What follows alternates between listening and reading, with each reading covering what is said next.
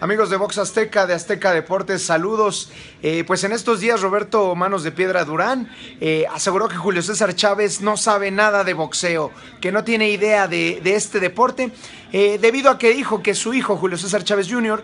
le ganaría seguramente a Saúl El Canelo Álvarez. pues el gran campeón mexicano se calentó, se calentó un poco y le responde aquí a Manos de Piedra Durán. Dice que no sé nada de boxeo, imagínate.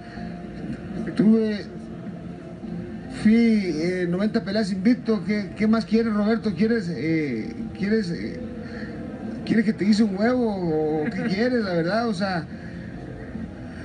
yo creo que voy a tener que llevarlo a Clínica Bajo del Sol. Porque no lo vi muy coherente, la verdad, con todo respeto. Ahora, si no sé de pues Vámonos poniendo los guantes ya, para que se vaya calentando la pelea. te hace falta ver más bots. Sí, te hace falta ver más bots. nadie, nada, nadie daba un cacahuate por él cuando peleó con su Ray Leonard y sin embargo le ganó. Ahí te, ya, ya te tapé la boca, Roberto, así que calladito te ves más bonito.